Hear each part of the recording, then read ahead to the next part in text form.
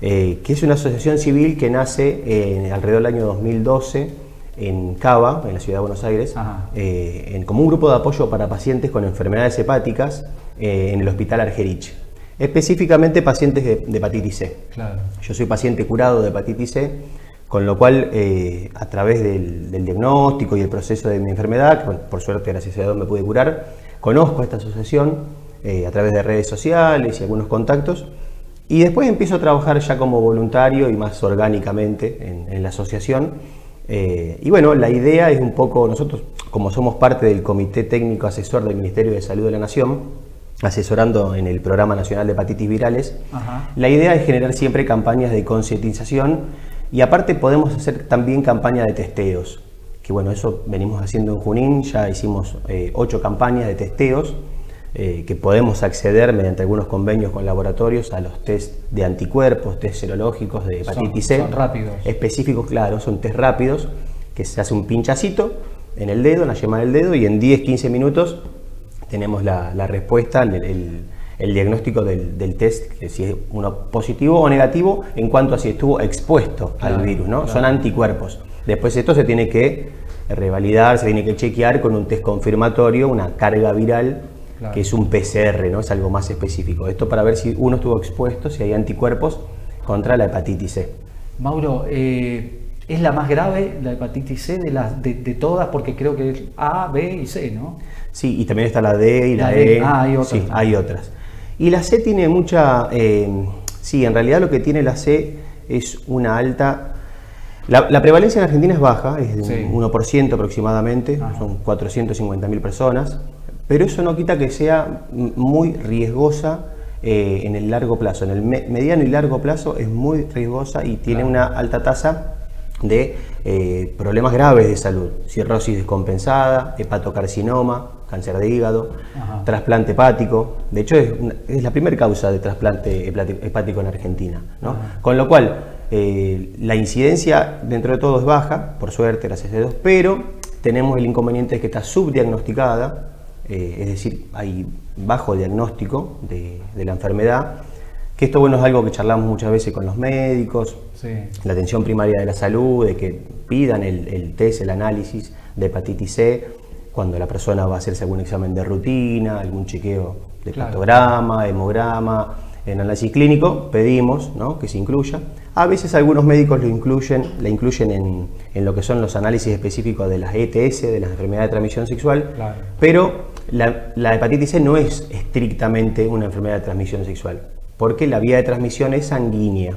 a través de la sangre, digamos. Tiene que haber sangre contaminada y uno exponerse a esa sangre contaminada para contagiarse, ¿no? para tener la, enfermedad. Hay vacuna, ¿no? No, ese es, un, es un, tema que no tenemos con la hepatitis C vacuna, pero sí tenemos cura. Ah. Ahí veo que llegó Marita Sef, que es una voluntaria de, la asociación, que bueno, ella se encarga de toda la parte operativa de, los testeos. Eh, como te decía, tenemos cura porque eh, con un tratamiento breve, son dos o tres meses, se llaman antivirales de acción directa, la medicación que es bastante nueva, a partir del 2015 está en Argentina, 2016 eh, en realidad, eh, uno se puede curar, tiene una tasa de efectividad de la medicación de un 98-99%, ah. eh, con lo cual tomando una o dos pastillas durante dos o tres meses, uno se puede curar sin efectos adversos.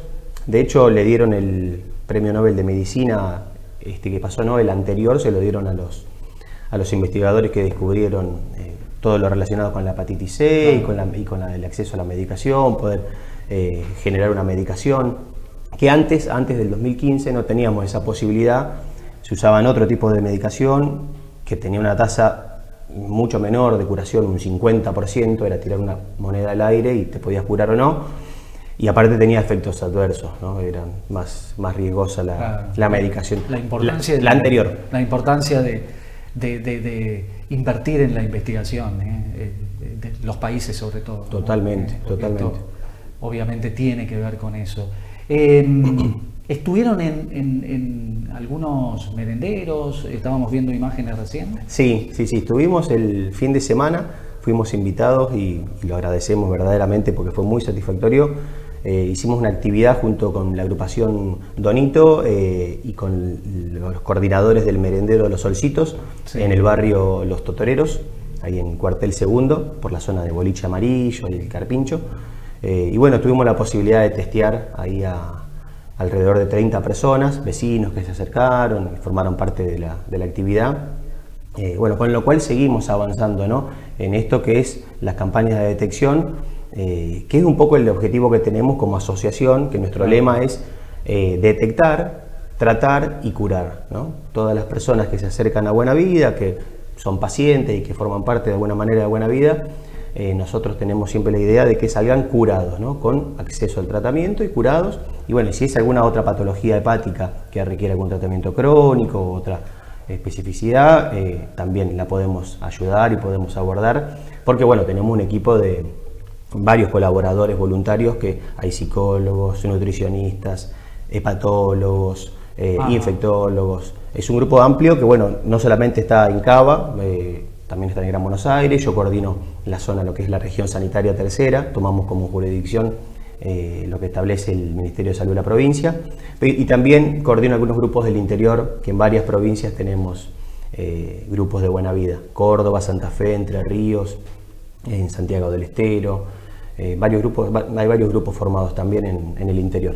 Y ahora... Todos con pacientes curados o en tratamiento, ¿no? Claro, Siempre, claro, eh, parte. Ahora van a estar eh, haciendo actividades con los veteranos. Sí, sí, está muy bueno lo que, lo que decís, Fer, porque tenemos un convenio con la Federación de Veteranos de Malvinas y en el marco de estas actividades que se están desarrollando acá en Junín por 40 aniversario. Hoy abrieron el, museo itinerante. exactamente, ahí en el Beto Mesa. Y justamente ahí vamos a estar, eh, esto lo, convenimos con el Marcos Bruno, con el director del área de, veteranos de Malvinas de, Junín y aparte el presidente del centro. Eh, vamos a hacer una campaña de testeos también y de concientización para los veteranos esto de Junín, esto en el marco de este, este convenio que tenemos con la federación también, eh, y para los familiares y la gente que se acerque ahí al, museo, ¿no? que es una muy linda propuesta, estuve viendo algunas imágenes, algunas fotos de lo que se desarrolló ya esta mañana, vi que estuvo el intendente, bueno, es una muy buena propuesta que tenemos que acompañar y nosotros como asociación civil eh, la venimos acompañando de este modo porque eh, hay muchos veteranos que, bueno, que han, por las mismas cuestiones de la guerra y el el tema del contacto con sangre, haber tenido heridas y cuestiones así.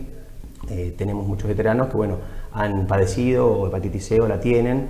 Eh, de hecho, nuestro bioquímico, hay un bioquímico en la asociación, colaborador nuestro, es veterano de Malvinas y él se contagió en, Malvinas, ¿no? hepatitis C. Se pudo curar, ¿no? pero bueno, por eso también tenemos eh, esta actividad para, hacer hoy. A partir de las cuatro y media, ahí en el Polideportivo Beto Mesa, vamos a estar seguramente una horita y media, dos horas vamos a estar haciendo concientización y testeos.